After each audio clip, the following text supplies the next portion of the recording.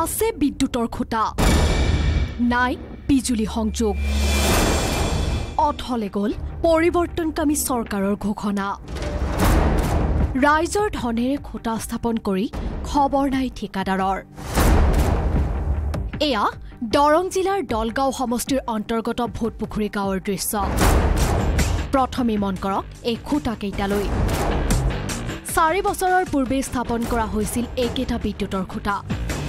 কিন্তু আজি পৰ্যন্ত বিদ্যুৎ সংযোগ নাপালে গাঁওবাসীয়ে।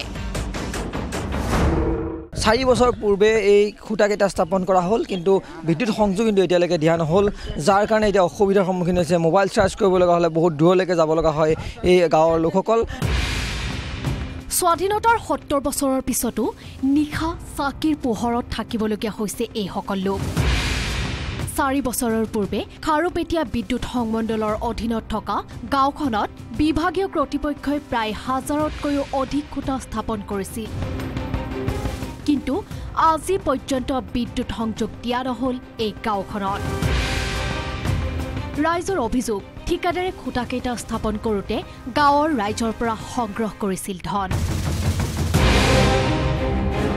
আজি চাৰি বছৰ হ'ল খুটা পুতি উঠিছে। এতিয়া নাৰায়ণটো হোৱা নাই। ঠিকাদাৰে মানে বিছ হাজাৰ ত্ৰিছ হাজাৰ টকা খাই গ'ল। ঠিকাদাৰ আহি ক'লে যে এইটো এম এল এ কথা নহ'ব অফিচত পইচা পাতি দি পাঁচ হাজাৰ কি টকা আমি ঘৰ পিছতে দিছোঁ। ঠিকাদাৰে চাৰি বছৰ সিহঁতে গুপ্ত হিচাপে টকাখিনি খাই পেলালে। এই বিষয়ে গাঁৱৰ ৰাইজে খাৰুপেটীয়া বিদ্যুৎ সংমণ্ডলত গৈ বিষয়া কৰ্মচাৰীক অৱগত কৰিছিল। কিন্তু গুৰুত্ব নিদিলে বিভাগীয় কৰ্তৃপক্ষই। আনহাতে এই বিষয়ে দলগাঁৱৰ বিধায়ক ইলিয়াছ আলীকো অৱগত কৰিছিল। তথাপিও কাণ সাৰ নিদিলে বিধায়কগৰাকীয়ে। গাঁওখনৰ ৰাইজে মোবাইল চাৰ্জ দিবলৈও যাবলগীয়া হয় খাৰুপেটীয়ালৈ আৰু বহন কৰিবলগীয়া হয় মোবাইল চাৰ্জৰ বাবে ধন। পাঁচ টকা দহ টকাত মোবাইল চাৰ্জ কৰিব লগা হয়। খাৰুপেটীয়া টাউনত যাব লগা হয় মোবাইল চাৰ্জ কৰিবলৈ। আৰু আমি টিভি চাবই নোৱাৰোঁ। যিটো সময়ত অসমত বিভিন্ন ধৰণৰ ঘটনা হৈ আছে। কিন্তু দুৰ্ভাগ্যৰ কথা আমি বিদ্যুতৰ সুবিধাৰ কাৰণে আমি টিভি চাব পৰা নাই। প্ৰধানমন্ত্ৰী নৰেন্দ্ৰ মোদীৰ ঘৰে ঘৰে বিজুলী দিয়াৰ ঘোষণাও হ'ল অসাৰ প্ৰতিপন্ন।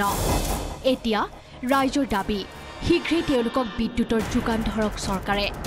ইফালে সঘনাই হোৱা বিদ্যুৎ কৰ্তনে জ্বলা কলা খুৱাইছে ৰাজ্যবাসী। ৰঙিয়া আৰু গোলকগঞ্জৰ ৰাইজে চৰকাৰৰ বিৰুদ্ধে বিদ্যুৎ কৰ্তনৰ বাবে উজাৰিলে ক্ষোভ।